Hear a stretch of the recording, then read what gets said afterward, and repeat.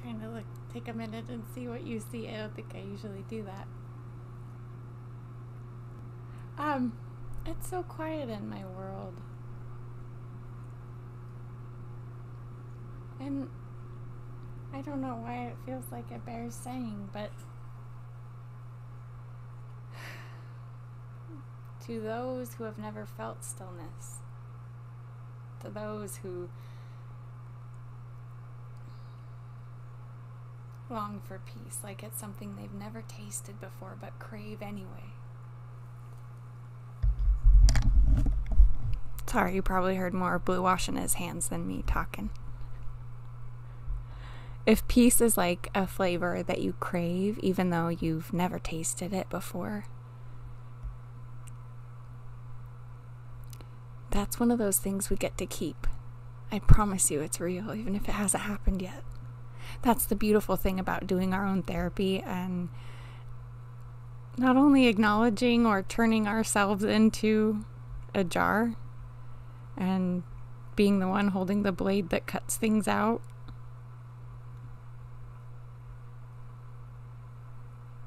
The beautiful thing about that is that we get to taste what discernment means. And we get to taste what intention means. We get to follow the words, I don't know. And I can't remember. We get to savor those and let those lead us to adventure and discovery. We, we let the curiosity be our nose, right? And when we learn that way, when we learn by falling, we get really good at falling correctly. And do you know what that means?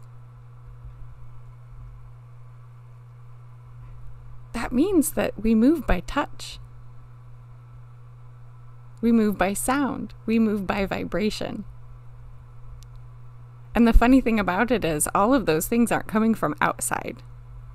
They're actually coming from within, and that's why it feels like we don't know what taste, what the taste of peace is.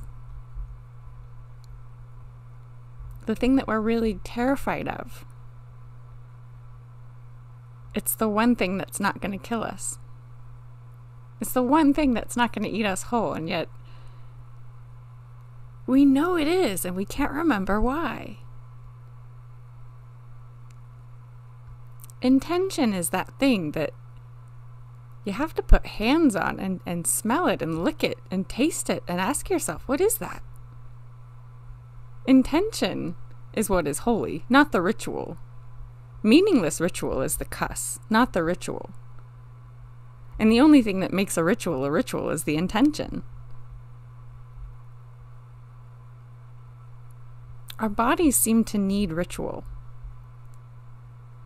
and own the jar so that you are the one who says what defines intention, what defines value, what defines worth, and is this quality, value, principle, belief? Is it worth enough that it that there's room in this jar for it?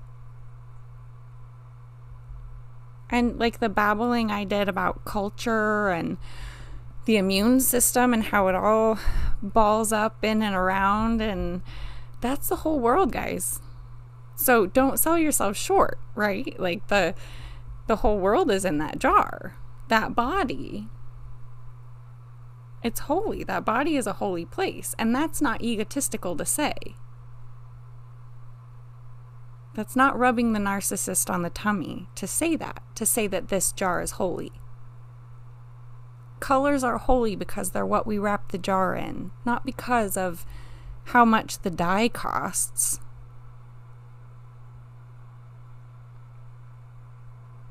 We define things based on intention, and we fall based on intention. I hope that makes sense because it does to me now. And that whole pantheon that you know the the parts work that I've been doing the the parts work that I've been doing to address um, looking in the mirror and and I don't know why, but for some of us on this earth, looking in the mirror is so much more scary than being willing to believe that a scary movie is real.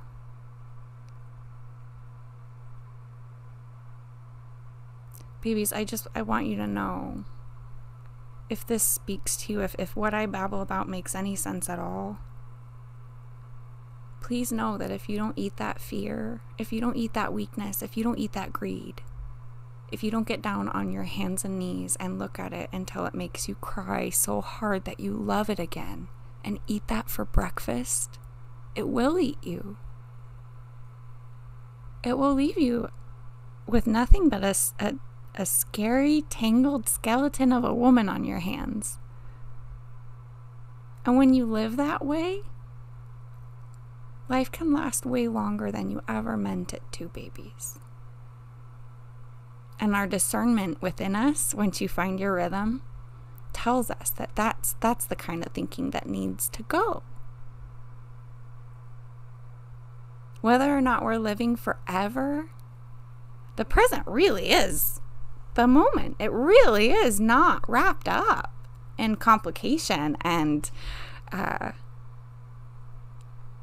peer reviewed research. That stuff is fun. They're all toys in the sandbox. But that's all they are, guys. Information is sacred because it can't be owned. It can't be owned and it can't be lost. But it can be discovered all information can be discovered. And I promise you, I promise you, I promise you, there's a vast and rich and complex wealth of stories and knowings. It's, it's covered in, in layers upon layers of the underworld, the other places, all of your scariest things all of your scariest wonderings. Could that possibly be real? They're there. But I promise you, if you lean in and you start looking and you get scared and you close your eyes, as long as your intention is that you're still looking, you're still looking, guys.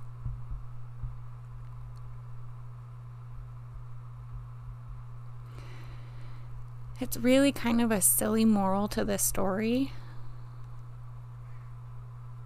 but sometimes those are the best. and the way back to that to that treasure inside of the lotus, the Om Mani Padme Hum.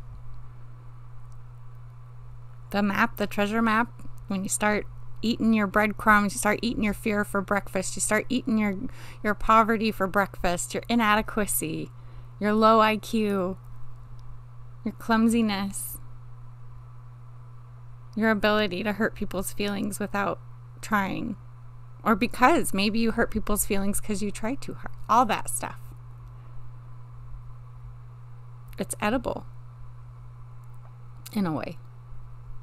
It's nutritious in many ways. There's a reason why, and it's never, it's never as bad as you think it's going to be. Cuz that is that is the nutrition. That's the nugget. There is no lock. The hardest, hardest lesson, the hardest lesson to learn is that as long as we're still breathing, there's gonna be more shit. And that's beautiful. Lean into that. Find your breath. And when you start choking on those breadcrumbs and and they start coming back up and you just feel like you need to cough and you don't know why let it come up and look at it and breathe it's said uh, in as many different ways as there are spiritual traditions on on this planet find your breath It's there, it's waiting for you. It is. It's in all of the scariest places you've never looked. It's in there. And it loves you madly. head over heels to the moon and back. It sees you. That's how we can say, I am but one of many parts of a beautiful, complex system of things and processes. And this body is holy. And that's not telling the strawberry it's a narcissist, not at all. And I promise you that is the present. It's all wound up in the breath inside of that beautiful body. So take care of it. Listen to it. Talk to it. Talk back and forth with it. Like it's your best friend, like it's your favorite cat.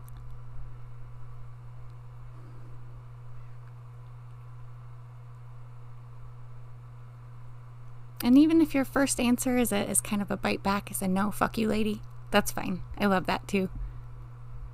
Let it let it become a maybe, or perhaps, or a not yet. Or or or let that just start as a tiny little tiny little burning ember that may or may not turn into something more. You might circle back around to it. How about that?